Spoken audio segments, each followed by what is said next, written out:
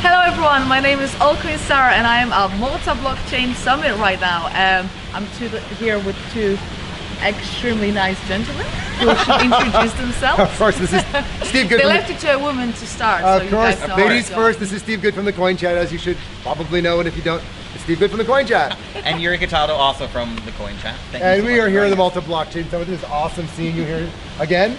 Yes, Super yes. event. What's been the highlight for you being here? Uh, probably the networking events. There are absolutely quality people over here. Um, I felt like the event in the summer still had some sort of a scammer uh, sort of a vibe. Element, yeah. The May event still had the scammer feeling. Wait, wait, wait. yeah. Scammer feeling. What does that mean? So, uh, yeah, so people just kind of like, you know, I've got a great project and how much money can I raise for you, but you have to pay me money to do it. It's like, huh? Yeah. we have a hundred million dollar portfolio and we need to help you raise money. It's like, what? That's, what else? Yeah, bananas and blockchain. Oh yeah. Wait, really? Bananas on the blockchain? We're, we're just. yes, there was bananas on the blockchain in May. That's true. I forgot about that.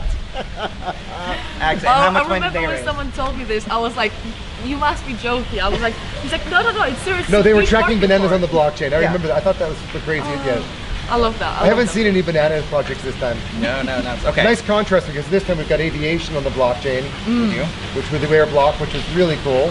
They Totally won an award this. They won the award they? last night as well. Yeah, Yeah, and they were the lead sponsor. yeah. And then you have um, Semantics that won an award. la- Semantics, no, Sem- Sem- Salamantex. Salamantex. Yeah, they beat out Wirex for they? their, really? for their payments. Yep, for um, for an award. So that was cool.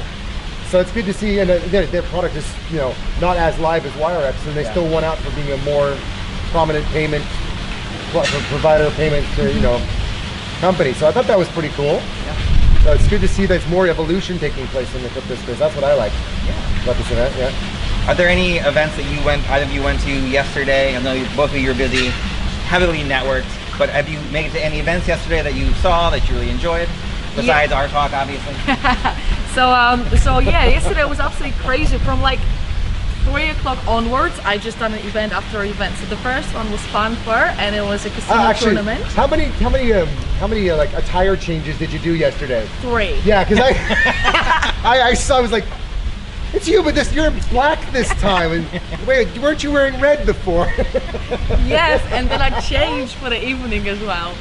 I like to change my outfits and confuse people because if I like embarrass myself, then I look well, different. it- not only that, but they don't remember meeting you because so many people meet so many people. Yes, event's like, exactly. oh, who are you? I'm still altcoin Sara. But wait, the, the black dress was meant to be the second and last outfit. But what happened? The first event I went to was the Funfair Casino tournament. And I won 9 out of 10 black blackjack hands. So that was amazing. Wow. Uh, Wow. And I was so excited about it and Yeah. so jumpy that I ripped my dress. Oh no. So I had to get changed. Oh my God. Um, So we, we missed the uh, the outfit malfunction then. yes, it was quite funny actually. I didn't care though. I won like $200 in their tokens and stuff, so I'm gonna go Oh, that's so cool. So you Yeah, got yeah. two hundred dollars in shit coins. No, Um, real coins. Casino coins? Casino tokens? Funfair tokens. Oh, okay, but that's okay. Okay. Funfair's still, you know. yeah, yeah, Funfair they're still okay. surviving, yeah. yeah, yeah, exactly. then there was like a U.S. embassy organized event Right. in the network. That was great. Then we went to oh, I don't remember now. And then we went to Tapas for a bit. Then we went to the uh, Bequant one. And then we went to this um, really weird thing 20 minutes away in a car. And it was like this vibe where they were like, Satoshi, Satoshi. It was really weird, like in a club. Oh, yeah. you were there too? Uh, yeah, I've missed the spiritual. You missed the satanic worship You part, yeah. missed the whole like point of being there, which was to experience whatever that was. It well, was a spiritual awakening of dancing some to it as Yeah. well You danced. Oh, okay. Ah, okay. afterwards. So we heard a rumor that Netflix was there Yeah. hidden recording this as what crypto people do, and it's so sad because it's not what we do in crypto. We're But- not weirdos, and we promise. But we all got dragged into this stupid weird event by a multi-millionaire guy who thought this was a great idea, and he's lost it. He's loopy, and I love him, but I don't love him. I don't know Not what to say. This. No, No, this, this was a little bit too weird for our taste, but that's not. Netflix, get it straight. That's not what we do in crypto. No, absolutely not. Everybody ran for the hills, got in the van, and left. It's not There was yeah, there was like half Yeah. of us just in the back. Oh, half. that was such a weird all event. took Yeah, out. I got photographs though. Some of them came out. It was all dark in this cave. yeah. Got dragged to a cave. Yeah. Well, we spent a lot of time with Electroneum actually, which was really a good Oh, laugh. cool. Yeah, Richard Ells and uh, Chris and um, Olivier. What a what a funny bunch of guys, and they're so different too. It's completely different backgrounds. Um, we just sat having beers with them, talking with them, and and because of their energy, people were just coming and sitting. with Tara Lynn came and sit with us. She's from IOTA from back in the day, and. Um, and there was somebody that came from a pharma project who seems to be doing really well. I can't remember the project name. Farmium, I think, something like that. um, no, it was something else, but it was just a whole, just a mixture of people. Just we were sitting in the right place in the bar, and it was just Good.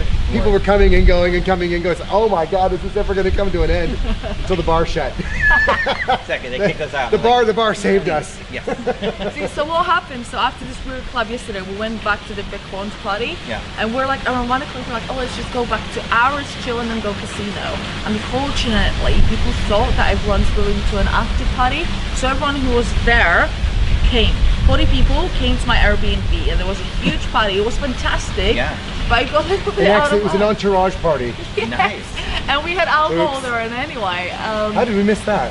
It's because we went Because we were locked ritual. into the bar. We had the lock in in the bar. That's true. Also. well, you hadn't dealt with electronics, so you didn't That's really true. Yeah. Yeah, well, that and they, they locked us in, and then they were giving us drinks after hours. So Yeah. it's okay when the bar does that, it's okay, right?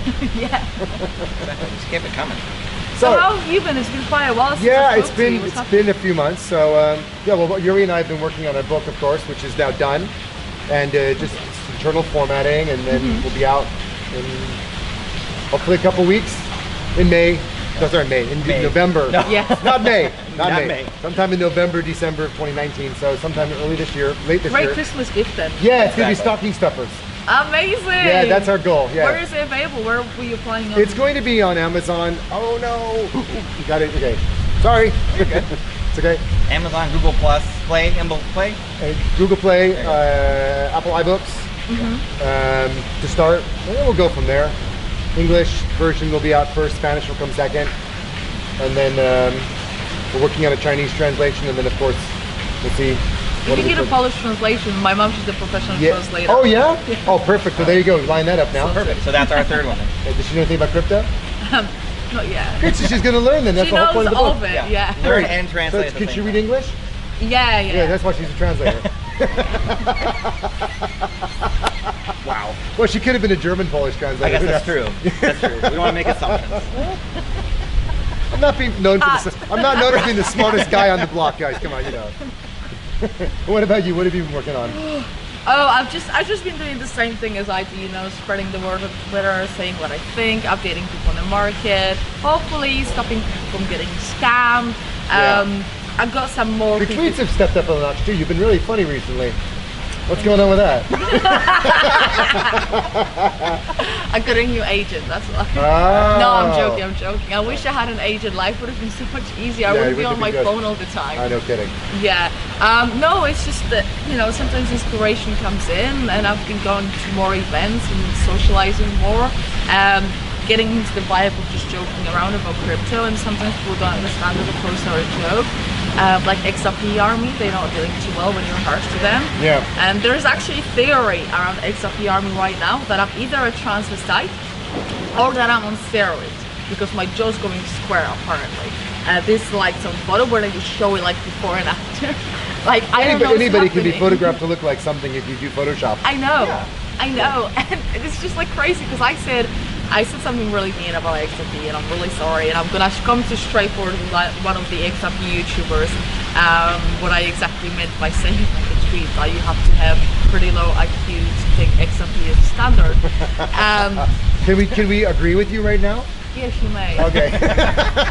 sorry, Ripple people, but you know, Not sorry. though. no, but not sorry. not really sorry. Uh, so yeah, I need to come to terms and explain what happened. And because I've been talking so much about it and dealing so much with XRP Army, I actually had a dream last night that re- that XRP was one hundred dollars, uh, ten dollars, sorry. Um, From thirty and it cents to ten dollars. Yes, and it was a Somebody would be very rich. Yeah, there you go. It wouldn't be us though. Imagine, No. if, if it went to like even to ten dollars, that would make Ripple worth like billions of dollars, which would be A trillion. totally uh, absurd. What do they have? 99 billion tokens. So yeah, you'd make a trillion dollar company out At of it. this yeah. moment of the Yeah, it, would, it wouldn't even make sense. That was just Nothing ridiculous. valued that much, honestly. No. They're trying to aim to be like Apple, I guess, or something, or Google. Well, good luck to that. Hmm. Yeah. Yeah. They have I agree. First, they have to unseat Swift in the banking space, and we can talk. I agree. We got some work to do, guys. Let's talk about something legit though, yeah. okay? oh, come on. Ripple's legit. It's just the price is a bit ridiculous. wow. Okay. Slight differences of opinion, but anyways, okay. I don't hate Ripple. I just No, I don't the- hate it. I I, just think the number of coins and the price is completely ridiculous. And people going, it's going to the moon, it's going to a dollar. It just doesn't make any sense. It just financially doesn't make any sense in the valuation. I mean, I don't have anything against it. I mean, XRP is doing what it's meant to be doing. It allows you cross-border payments. And what annoys me is that Yeah. the community gets this wrong. They they saying that it's gonna replace Bitcoin. It's not meant to It's do nothing to do what with Bitcoin, Bitcoin. doing. No, they're targeting the banking space to replace Swift. Exactly. So that's the goal, and people get confused with it, and that's what really frustrates me. Yeah.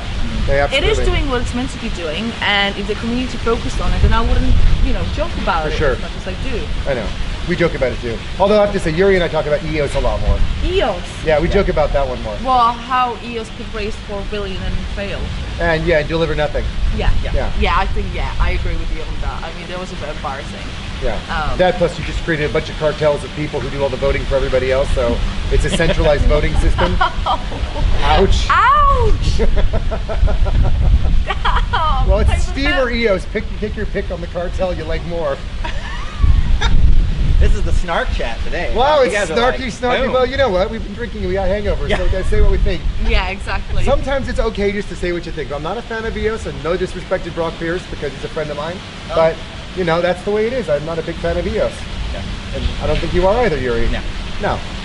Every project has its goods and bads, No, and every, every team has things they do right and wrong. And it, the reality is, everyone's doing the same thing. We're all here to add value and to make things happen. Ripple's doing what it's doing well. Steem set up a platform that allows people to publish content. EOS has set up an infrastructure that works. But there's things we can criticize about every project, including Exactly. Funfair or anybody else, or even Electroneum. There's something you or can find that you like or did like. it. Yeah. What? Who doesn't like Bitcoin? no, but I'm sure there was some probably Yeah. somebody that yeah. So anyway, we're having fun here, people. It's not serious. oh, it's half serious.